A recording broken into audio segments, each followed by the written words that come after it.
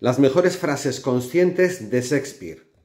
Aparte de su frase más famosa que es ser o no ser, esa es la cuestión, que bajo mi punto de vista nos anima a que nos conectemos con lo único que realmente somos. Una energía maravillosa, divina, de amor, compasión y disfrute.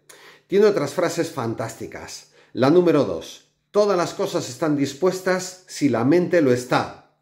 Esta frase es maravillosa, que nos da a entender que con el entrenamiento mental y entendiendo cómo funciona nuestra mente, podemos conseguir todo. Frase número 3. No hay más oscuridad que la ignorancia. Tal y como os he dicho muchas veces, vivimos en una era de mucha tecnología e información al alcance de la mano. Y el problema en estos momentos no es no tener información, sino más bien que no nos hemos tomado la decisión y la determinación y la molestia de estudiar. Por lo tanto, el gran problema de la era actual es la ignorancia de las cosas esenciales. A veces no podemos estudiar por los programas que nos bloquean.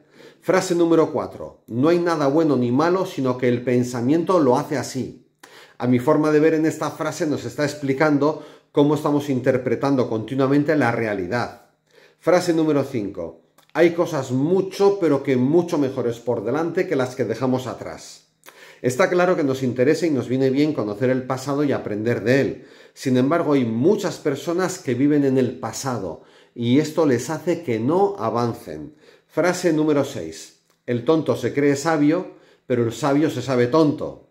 Bueno, yo os animo a que siempre tengáis esa actitud de aprender. Frase número 7. No puedes elegir las cartas que te han tocado, pero sí puedes elegir cómo jugarlas. Por lo tanto, si tú eres rubio, no pretendas sufrir continuamente porque tu única felicidad está en ser moreno. Enfócate en lo que tienes y sácale partido a, a lo que tienes. Frase número 8. El infierno está vacío, todos los demonios están aquí. Que bajo mi punto de vista quiere decir que desde nuestra mente somos capaces de hacer el cielo en la tierra, pero también de forma inconsciente muchas veces convertimos esta vida en un infierno. Seguramente Shakespeare fue uno de los avatares del maestro Saint Germain. Escribe aquí debajo, todos somos actores en este teatro de la vida.